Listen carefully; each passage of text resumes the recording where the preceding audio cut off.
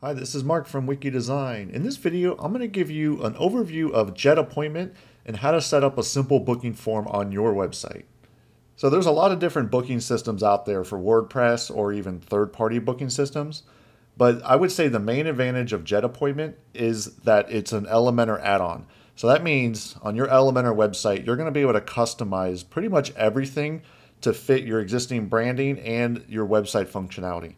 So you're not going to have to embed, you know, one of those ugly iframe booking systems where the styling and uh, the branding is completely different than your website. With this plugin, you're going to be able to customize pretty much, like I said, every component on your booking system to fit your branding. So if you jump over to the Crocoblock website under products, jet appointment, they have a really good landing page here with a lot of information on the functionality, how to install it. And if you look down here, they have some really good demos. So if you keep scrolling down here, they have some good live demos right here. So they have a spa, barbershop, doctors. So if you click on this button right here, view demo, it would jump over to a demo website and you can test out the functionality of Jet Appointment on those demo websites. And if it fits your use case, I highly recommend purchasing the plugin. So as you can see, this also integrates with WooCommerce. So that means you can book the appointment and then right afterwards, the user will be able to pay for the service right on your website. So you don't have to have them jump to a third party website or anything like that. You can integrate it all within your WordPress and WooCommerce website. So if you jump down here, you can see how you can actually save a lot of money by using Jet Appointment compared to alternatives.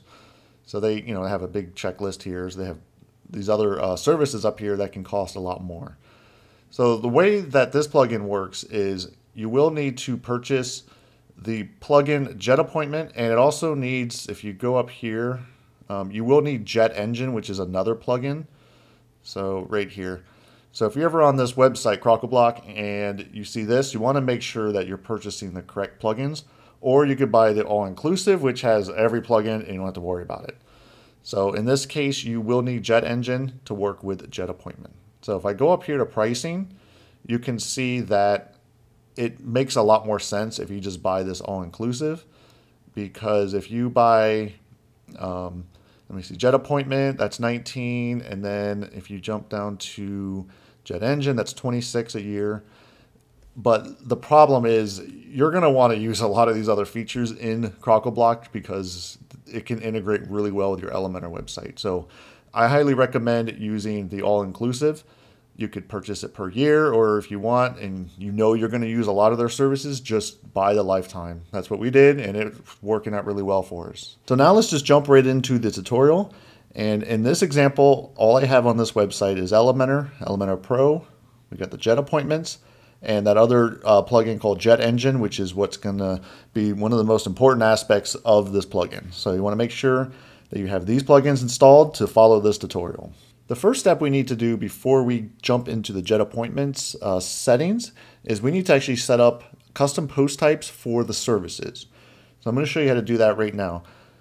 Under Jet Engine, if you click on post types right here, what we're going to need to do is add a post type over here called services. And I'm just going to add a few core services that you know we offer at Wicky Design as an example because you need to have the services done first before you can actually set up the jet appointments.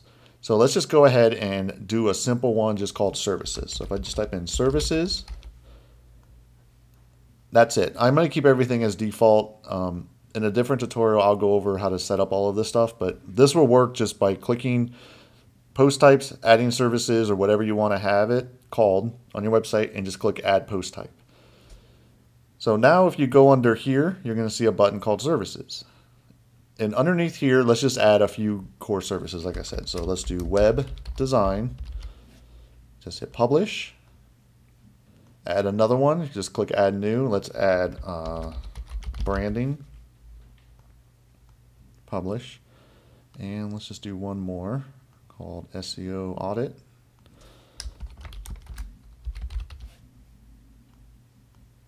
Okay, so now if you click on services, we have SEO audit, branding, and web design. This is needed because when the user is selecting um, an appointment, they need to be able to select a service. And so if you don't have the services done first, Jet Appointments isn't going to work correctly. So now let's just jump into how to set up Jet Appointments. Now we can jump over to Jet Appointments and start the setup wizard. Once you're at Jet Appointment setup, if this was your first time, the screen will look like this. And so what it's going to do is walk you through four different steps to get everything connected correctly, and then we'll be able to do some testing and insert on the page. So the first thing right here is the services post type. So that's why we needed to go ahead and add the services um, like we just did in the past uh, step. So the very first thing we need to do is go down here and select services. So whatever you put in under Jet Engine, it's going to be right here. So in this case, it was just called services. Just click that. We're not going to add providers to this tutorial because I want to keep it a little bit shorter. But if you would like a longer tutorial on this, let me know in the comments down below and I'll consider making a more advanced, involved uh, tutorial on JET appointments. So we could just click next on this and we don't need to do anything here. We're going to keep this very simple. But all this is, is if you need to add additional columns or, you know, fields, you could do that during the setup process. But in this example, let's just keep it really simple. And if you go right here under the booking schedule, this is where you can set up all of your time slots, your hours, your days off. So let's go ahead first, and I'm not used to military time, so let's go ahead and just add, you know, 1 to 2 p.m. like that. You can change any of these other settings right here. They're very simple to understand. So we have the durations, 30 minutes. You can do before and after. Um, the main thing is you want to make sure that your work hours are accurate. So 8 to 1700. You could add it right here. They give you a lot of flexibility. And what's good is you can always come in here later and add more days off. You can add holidays, anything along those lines. But like I said, I want to keep this tutorial a little bit shorter, so let's just click next. And we don't have WooCommerce installed on here, but this is where you would add WooCommerce if you need to. So you can keep these two buttons on. Basically what this is going to do is give you the ability to add the form to your services pages if you want or in this case, we're just going to use this one right here called the static page. So this means that we can have the booking system on any page on the website and the user will be able to select the services. So in this example, we're just going to stick to the static page. So let's just click finish. And now what it's doing is it's adding um, the different forms that you need that are going to connect to JET appointments. So you can see right here it created these two forms and this is the post type called services. Now if we jump over into Jet Engine under Forms, you're going to see these two different forms were added right here. So if I just open one of these up right here, this is the one we're going to be working with called Static Page Booking Form. So if you haven't used Jet Engine's form builder, it's a really powerful way to build complex forms. Um, I'm going to actually do a tutorial in the future on how to create really complex forms using this plugin. So Jet Appointments basically just create a really simple form and then it inserts the appointment into your calendar. And let's just go over some of these settings right here. And if you look right here, you could click on any of these pencils to edit any of these uh, field names or anything like that. But let's just keep everything, like I said, default. Let's keep it as simple as possible. Now we're going to add this form to a static page, and I'm going to show you how you can style it up, and let's do some testing. So here we are on an Elementor page, and to add that form, you just type in the word form right here, and you want to click this one right here. If you click and drag that in, that's going to bring in the jet engine forms. And if you see right here, select form, the name of this form is static page booking form. So like I said, this is going to be at any page you can have this installed and it's going to automatically add it to your calendar and the user will be able to select the services as you can see right here. And that's it. We have now officially added a booking system to our website. So I told you that this is a very quick, simple way to add it. And let's just do some testing to make sure everything is working. So if I click preview, I'll take this off right here. And let's say we want to have an SEO audit on the 30th.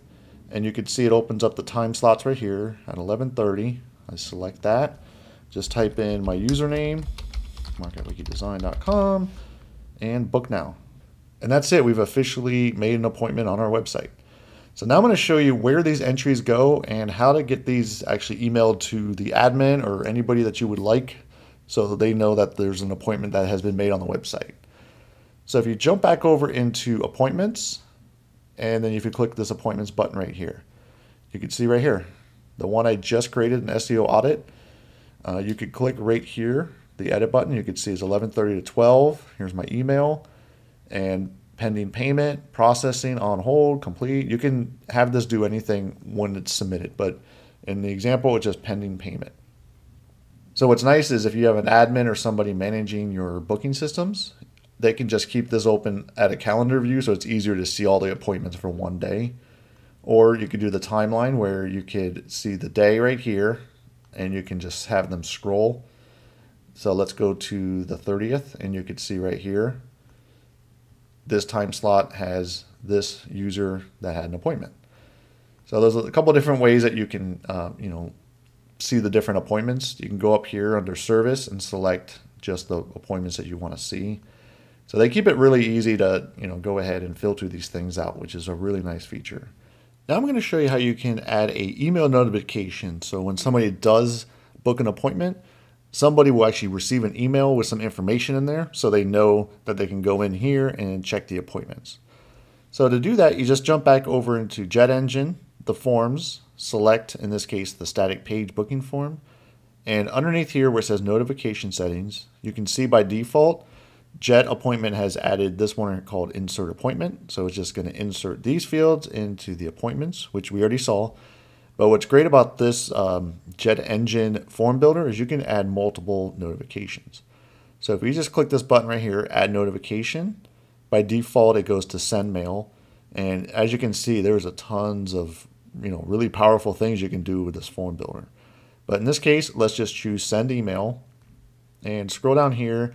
You can do the admin email, so whatever the admin of WordPress is. But let's just go in here and add in uh, my email, Market Wicky Design. You can, you know, select these if you would want, change the subject. I'm just going to kind of keep everything default. But this is where you need to go ahead and add these um, macros right down here. And as you can see, they have the service title, they have like start date, end date. So since our form was really simple, I'm just gonna add the following macros right here. So the way to do this is I just typed in service title, and then you take this code right here, just paste it in there. So as you can see, I just did service title, start time, end time, and I also added the user email right here, which I got from right over here. So this might look a little intimidating, but it's really simple. They give you information on what each one of these uh, macros do. So it's pretty simple. So once you add that, just click Apply Changes, Update. Now let's jump over into our form again and let's add another service. This time let's do web design on the 29th at 10. And let's do a different email, info at wickydesign.com, book, okay. Now I'm going to show you what the email looks like when it comes through.